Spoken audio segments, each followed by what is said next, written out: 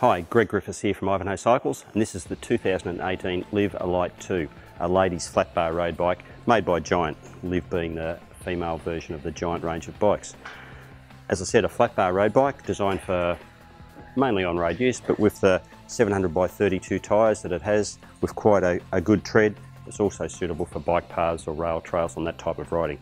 So not a racer style of road bike, but a flat bar road bike with the straight handlebars, meaning that you sit up a little bit straighter, not hunched over like on a race bike. So really popular form of bike over the last number of years, and especially now that uh, Giant are making them in the Liv range for women, there's many more ladies taking advantage of this sort of bike.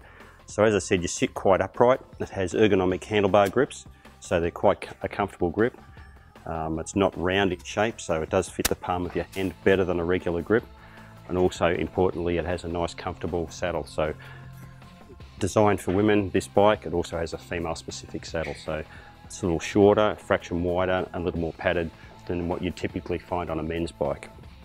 This bike has 24 speed gears three cogs at the front eight at the rear and a Shimano gear system.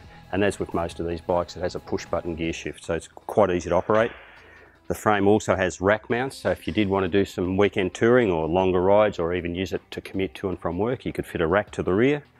It'll take two water bottles on this size of frame. And also, interestingly, has rack mounts on the front. So if you did want to do some longer touring, you could also fit a front pannier.